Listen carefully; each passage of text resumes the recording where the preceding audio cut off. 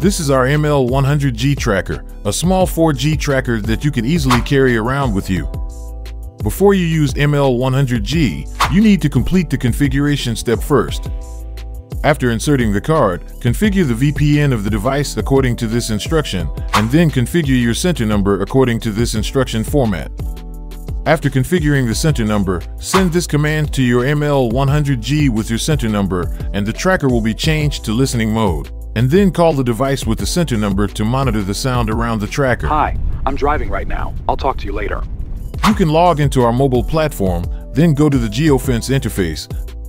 Click on the top right corner. You can create a new electronic geofence. Click the command button below to enter the tracker configuration list screen. In this screen, you can configure a variety of tracker functions. Click the More button and then click the Alerts button. You can see the alarm report of the tracker and check the alarm situation of the tracker. The ML100G also supports live tracking, which allows you to see live tracking from this interface, and click playback below for a playback of the tracker's historical track.